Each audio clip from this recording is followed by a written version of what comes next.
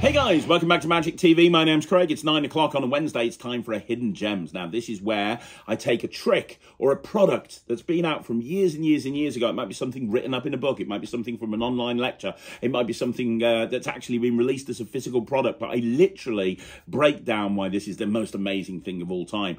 We stand on the shoulders of giants, and for me, the Hidden Gems series is one of the most important series on Magic TV because it allows me to highlight tricks from years gone by that you guys might not have seen that I think are worthy of your attention. Because we always look for that latest and greatest trick, that trick that's going to make us famous, right? And forget about the latest and greatest trick unless it's been marketed by me, in which case buy it immediately.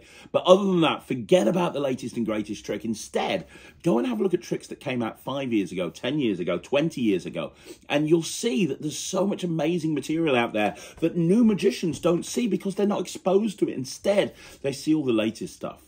And today I'm going to talk to you about a trick that's very, very old. However, it keeps getting brought back out. So you might not have, you might have seen it, you might not. I am talking about Paperclipped by, by Jay Sankey.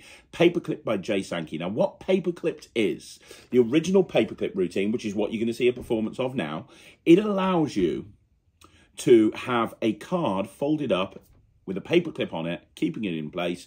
You can take that out and give it to a spectator or put it on a table. They can hold on to it the entire time. You can have another card picked and signed. And then when you take the paper clip off and you give them the card, it's the actual card that they signed. It's the perfect mystery card.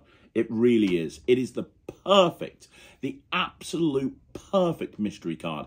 Now, um, Jay has published this on about 15,000 projects, uh, and he's uh, got entire projects specifically about paperclips and all the different routines that you can uh, you can do with it, and you can get those directly from Jay Sankey's website. Um, the the switch itself is called the Full View Switch, and there's so much you can do with it. Let's have a look at a performance, the basic paperclipped routine first of all, so you can see exactly what you can do with this, and then I'll talk about why it's so good. Uh, Jack. Hello. I have a folded up card. There you do. Uh, it's a prediction. Ooh. I'm going to pop it right there. I, have put a uh, little paper clip on it to keep it in place. I don't want you to see that until later on. Yes, sir. Okay. Now, um, I want you to pick any card, and it's really important that you get a free choice of any card. You're going to sign the card, but it's really important you get a free choice of any card because my prediction, hopefully, is going to match. So, which card would you like? It, it's really important. It's not you don't feel forced into one particular card. Take anyone you want. I will take the two of hearts. Are you sure? Yep. Okay, that's a good card. And write your name on it there, Jack. That would be fantastic. Okay. Good stuff. Okay. And just say stop anytime you want to. Stop. Cool. Put the card back there. Face down or face Yeah, face down. There we go. And uh, hopefully you guys can, can you see it there? Yeah. Yeah. Um, now, I'm going to leave it in the middle, but we, uh, what I'll do is I'll bury it a little bit further down like that, just so it goes near the bottom. Um, now, your card is somewhere in the deck. Would you agree that there's absolutely no way I could know what your card was? He had a free choice. Please remember that. You had a free choice of any card. I didn't make you pick a card.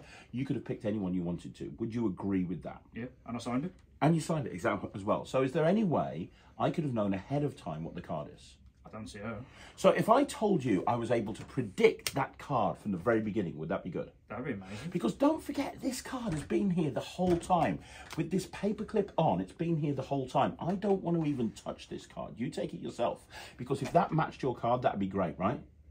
Want to open it? Yeah. Because not only does it match your card, open it up all the way, What the it is fuck? actually your card. What? How?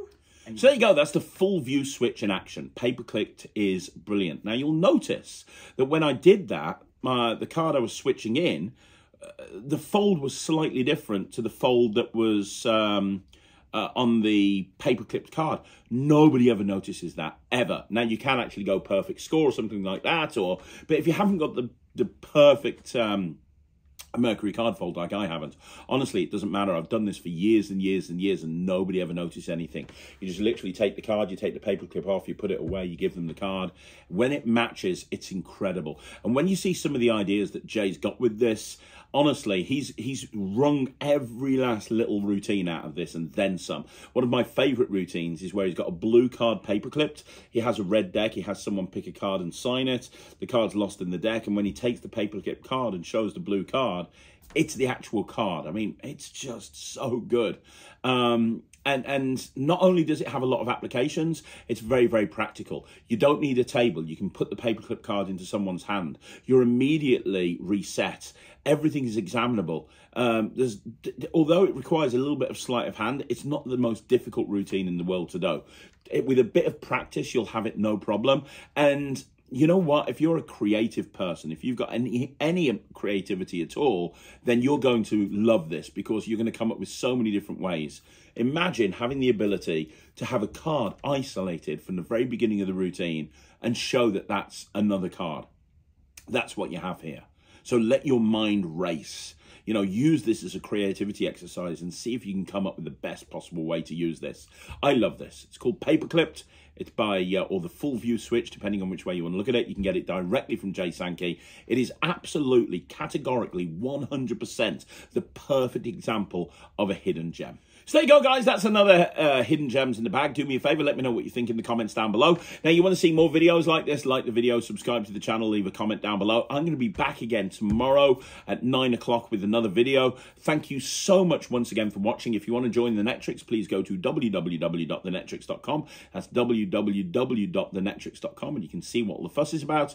I'll see you again soon. Thanks for watching. My name's Craig from Magic TV.